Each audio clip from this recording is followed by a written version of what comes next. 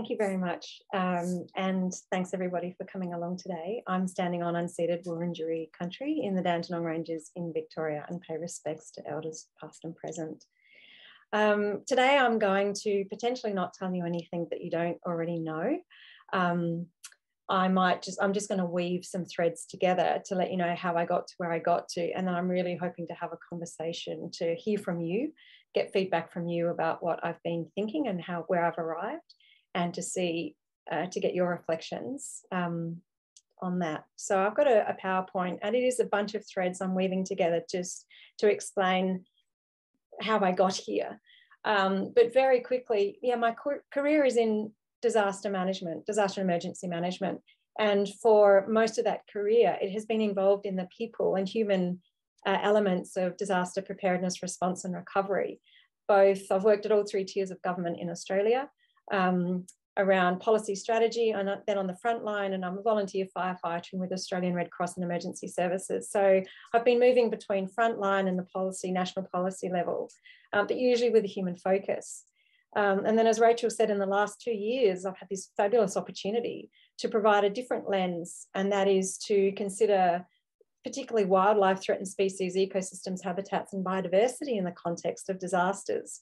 And that has been a real shift for me um, in the way that we think about our um, disaster resilience and emergency preparedness, um, to have as uh, the focal point um, nature and the environment and conservation elements as opposed to people. Um, and so that's been really interesting for me, and it's something that I'm really, I'm really keen to explore further. And I guess I'll just say at the outset, uh, it doesn't have to be either or it's not about either people or nature. It's how do we make sure that we do it together right? So it's it's working alongside and and, and doing both as best as we can. So i'll share my screen and let you um, have a look at some of these um, some of these concepts. So this is how i like to start right? Because it's scene setting. Some people are so poor all they have is money.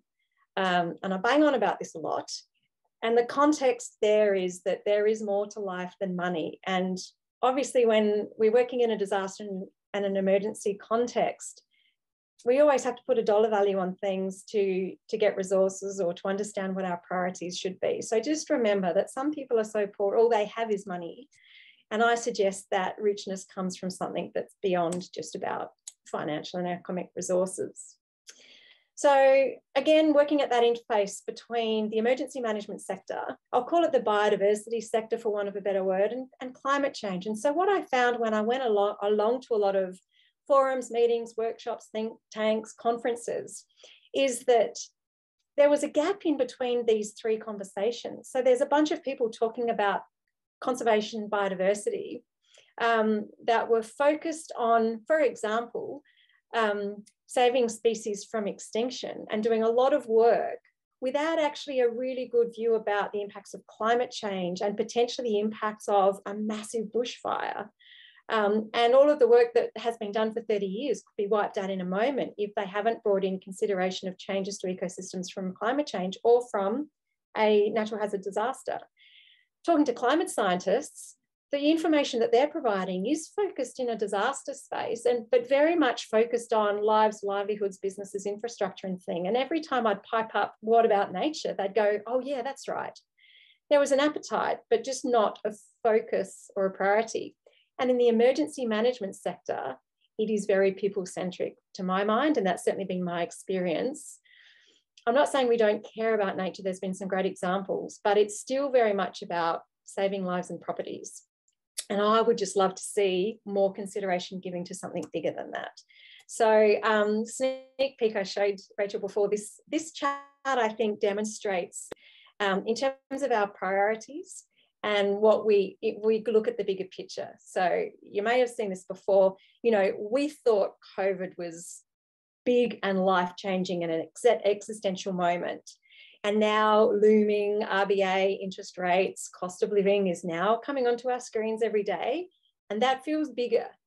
And then we know that looming over the top of that is climate change. Now, I don't think we have yet fully appreciated collectively in a broad sector, this, this audience probably, but biodiversity collapse is like, you ain't seen nothing yet. And this is not a hopeful image. And I should have started by saying that I am hopeful and I'm curious and I'm trusting in the way that I give this presentation. I encourage you to see the hope in the conversation, not fear. Um, but, but I think we need to have our eye on the really big thing um, because other stuff that felt hard, that might have been nothing. You ain't seen nothing yet.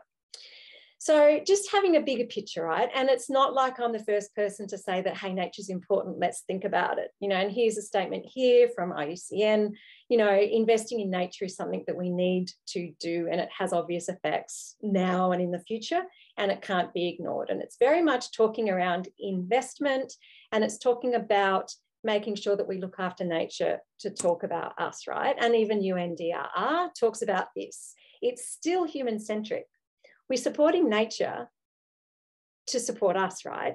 What if we supported nature to support nature? Like it's still putting us in the middle of all of our conversations. Nature based solutions, it's about finding solutions that nature can provide to help us. So imagine at the moment, and so here are the pillars, the pillars of um, uh, disaster um, recovery.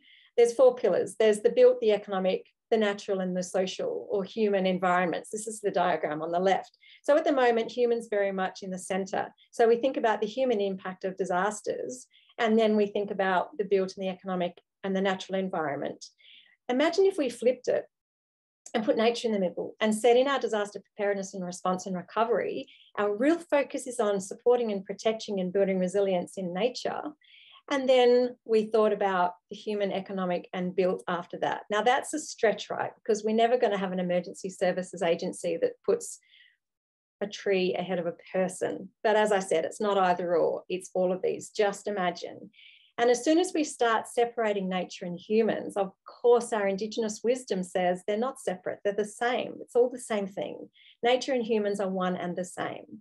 So our Indigenous wisdom says that if we are part of the system and not separate from the system, it's a way to move forward with the conversation. So here's a diagram that you might have seen from the IPCC, right? It's understanding our risk framework. So we have weather and climate events um, that inform risk and uh, inform natural hazard disasters.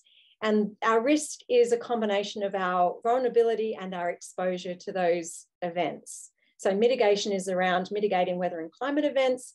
Adaptation and resilience is built by addressing our exposure and our vulnerability. So my concern with this diagram is it sort of starts with risk and talks about risk. And I think in disaster management, we talk about risk a lot, but I think that it's better if we put value in the middle. Before we understand what the risk is, surely we need to understand what we value first because we it's not a risk unless it is to something we value. And I think that if we started the conversation is what do we value, what's important to us, we would have a slightly different way of approaching risk and disaster risk. And the reason why I want to talk about what we value, because we very quickly think about material things, which is important.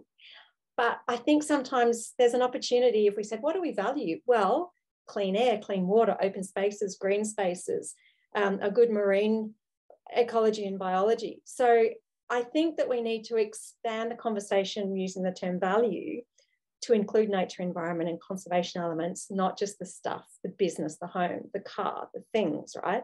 So, starting to talk about what we value and having an honest conversation about what's important to us. Don't forget, some people are so poor, all they have is money. So, this is an example of the state emergency management priorities in Victoria. Now, when I first heard about the priorities, and I heard that environment conservation assets and also cultural heritage is included.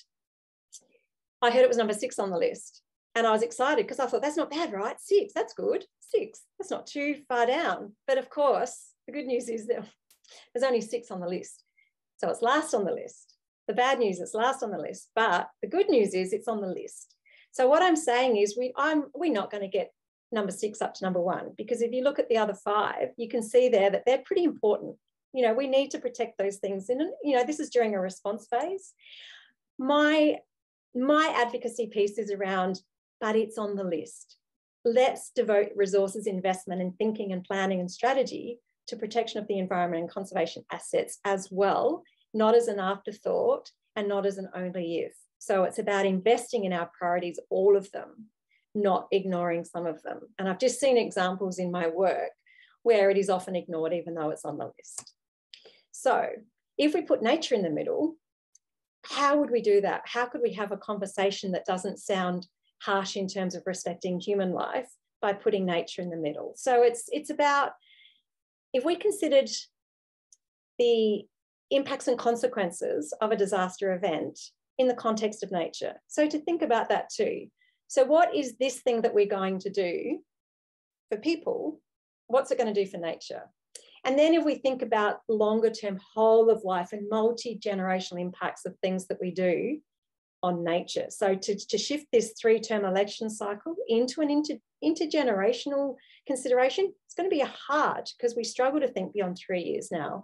But if we thought about what we do today about future generations and really thought about it, not just as a tagline, so we, a nature-centric approach is uncertain and it's variable and it's always changing. So that's going to be challenging. But acknowledging that and working with the uncertainty as opposed to avoiding uncertainty. Clearly, future thinking is an important part, looking at the future and what the future looks like for planning rather than planning for what's already happened.